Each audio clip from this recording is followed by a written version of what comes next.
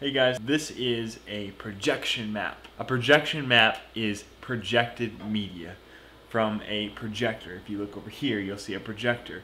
It's not the greatest projector. We have a pretty bad one. It's being held up right now by some playing cards, a box, and some books from class. And it's not even really sturdy if you really look at it, break it down. But it worked what we did. Nate and I were looking online through the possible programs we could try to do this on, and the only ones we could find were DJing programs specifically designed for live shows.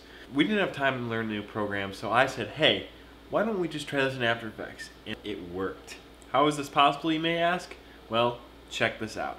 After Effects, like most editing programs, has an option to set up multiple displays, so all I had to do was go into Preferences, select the projector, and the projector displayed what was in my timeline. That meant our composition only had to be 800 by 600, and that made After Effects run so fast because it's such it's it's smaller it's it's a little bigger than standard definition, but because it's so small compared to HD 1920 by 1080, it makes it so much quicker for After Effects to run, which is why it helped out so much. Once we figured out After Effects, we built our three-dimensional shapes. If you're going to be doing this, make sure you use a white material or white surface. We used a styrofoam board that we cut into three-dimensional shapes.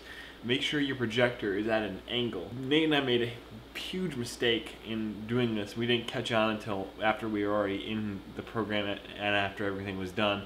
But we didn't raise our projector up high enough so we couldn't project on the top of all of our objects. We found out, however, that it's perfectly fine. We could deal without the surfaces, and it just made things easier because it was less masking out to do. So inside of After Effects, once all of our 3D shapes were made, I had to mask out each one of the sides of the shapes. All masking is done by looking at the projection and moving it around by eye accordingly to how it looks on After Effects. I made a small diagram to help us coordinate each side, which helped out a lot. Once the masks were made, I pre-rendered each mask, so all we had to do was keyframe our scale, position, rotation, and opacity of all of our media that was pre-rendered inside our compositions. For the animations, most of them were used using Trapcode Particular, and that's about it. Lucky for me, uh, my laptop's 14 gigs of RAM was able to RAM preview everything, so we didn't have to render out anything, thankfully. Thanks again for watching, guys. If you have any questions, feel free to leave them in the comments section below. And please subscribe if you like these kind of videos. I make them all the time. And have a great day. See ya.